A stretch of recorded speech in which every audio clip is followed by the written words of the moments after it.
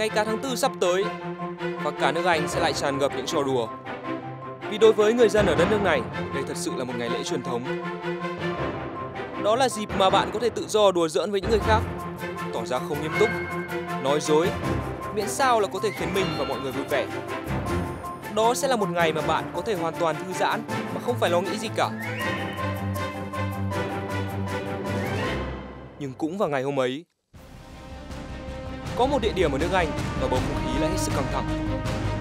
Có hai người đàn ông mà trong đầu họ sẽ đầy những toàn tính.